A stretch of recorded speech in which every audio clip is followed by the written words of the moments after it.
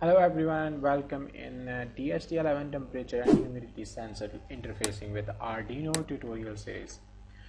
Uh, in this tutorial we are going to define what is DHT11 and how to interface DHT11 sensor with Arduino. Well the DHT11 sensor is uh, used for measuring the humidity and environmental temperature. It is a low cost version and it can measure the humidity via a capacitive uh, way and uh, the temperature with the internal thermo thermistor.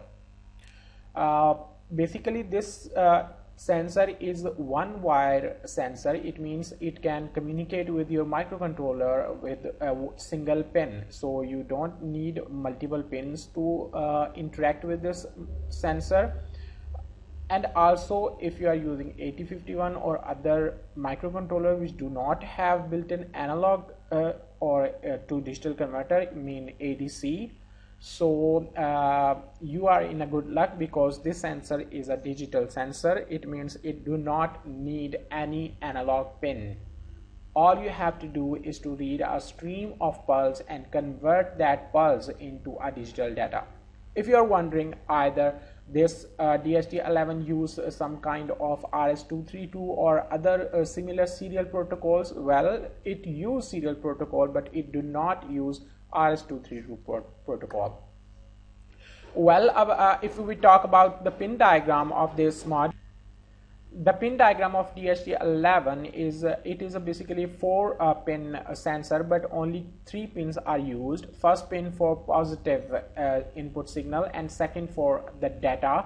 It means uh, the second pin is the pin that you are reading uh, in your microcontroller the third pin is actually not connected anywhere. It means the third pin is not used at all and the fourth pin is for negative. It means it is a ground pin uh, this sensor can be uh, connected to uh, 3 to uh, 5 uh, volts. It means you can either connect the positive pin to the 3.3 volt of the Arduino or 5 uh, 5 volt. It will work the same way.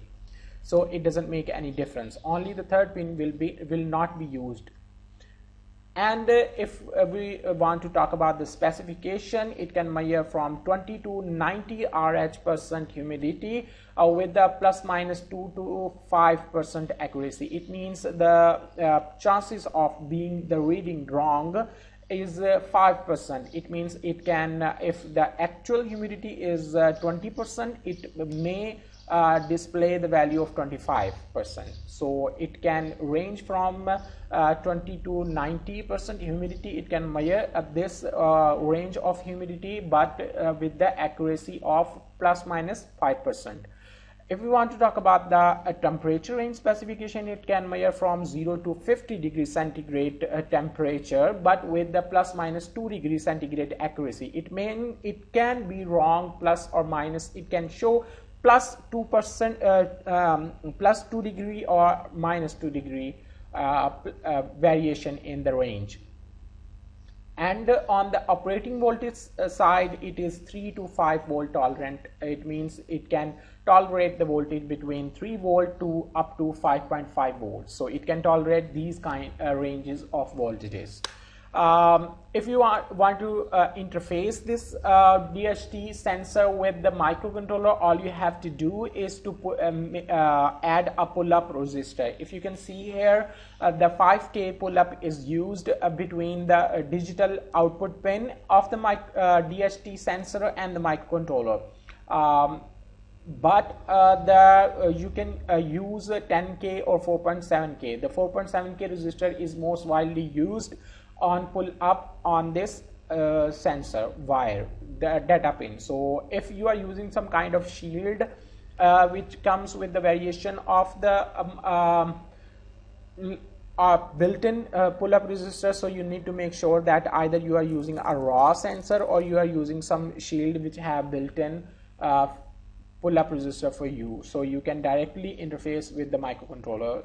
It doesn't matter uh, you may need to add a library for this uh, module if you are uh, concerned with the library. All you have to do is go to your Arduino and uh, uh, in the sketch menu you uh, go from include library to manage libraries. If you had downloaded from the github uh, the uh, zip file of your library you can add dot zip library from here. All you have to do is add a zip library and the zipped file you had downloaded offline will be included in this Arduino environment automatically. But if you are not downloaded before the library all you have to do is to click on the manage libraries or you can use the shortcut key of control shift and I you will be directed into this screen. Uh, you can type uh, DHT11 in the search console and you will be uh, seeing the Adafruit library uh, from in uh, like this. If you had previously installed it will show installed but if you have not previously installed all you have to do is to click the button of the install appearing at right corner right bottom corner of this a cell and you uh, when once you click it will automatically uh, updating or installing the library. And once all done it will say finish and you uh, you click finish and you will get back and you can use the library in your Arduino environment. That's all about how to add DHT11 library in Arduino. So if you want to add the DHT11 library in Arduino you have to follow this these steps this library is also available on Adafruit a GitHub link. Uh, if finally about the code all you have to do is to include the dht.h header file and uh, create instantiate an object of dht11 with the pin that you are using for digital data and the type of the sensor either it is dht11 or dht uh, 22 uh, you need to mention that and uh, in the setup uh, I am using a serial console to log the data uh, re uh, read it from the DHT11 sensor and in the loop menu in the setup all the final step you need to do is dht.begin function. Once you click once you call the dht begin function it will start the DHT11 sensor mean it will display uh, it will send some signal on the DHT 11 uh, uh, pin, digital pin.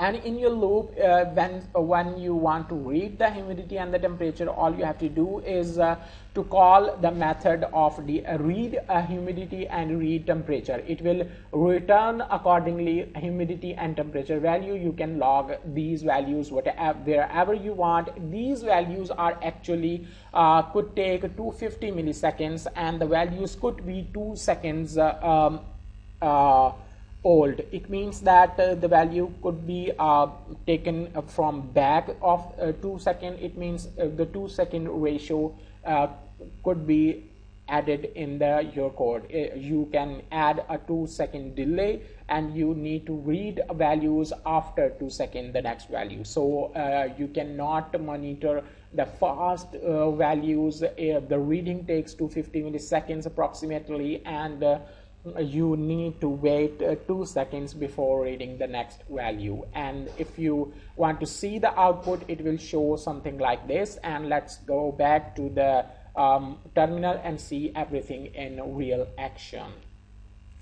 Here's my code for the DHT11 of I included the DHT.h file header file and in, instantiated on pin 8 of the Arduino and it uh, start the serial port with the default 9600 baud rate and uh, prompted a string uh, to the serial console DHT11.test uh, DHT11 test. This uh, string will be sent to the uh, serial terminal to display that uh, the serial port is properly working.